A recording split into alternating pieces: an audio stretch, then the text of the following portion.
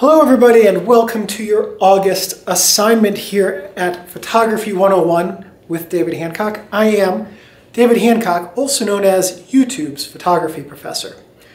This month's assignment, sticking with the theme of one roll, is one roll, one subject.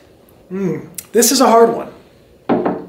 Okay, so the premise of this assignment is that you will take one roll of photos, or for those of you shooting digital, 35 to 36 photos of one subject. That doesn't mean go find 35 or 36 different cars, buildings, trees, people, whatever, and photograph them.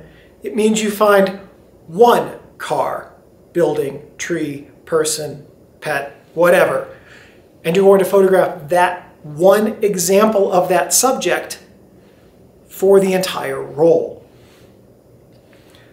The objective here is to teach you how to photograph the same subject in different ways. So if you if you're going to let's say take a portrait and you have 36 identical photos of the person like this in the frame, then this assignment will not have been a success. However, if you learn to work with your subject and have them pose in 36 different ways, or if you go out and you find an old car in the for forest and you take 36 different photos of that old car, then this assignment will be a success. So what I want you to do for this first week is start thinking about what your subject's going to be.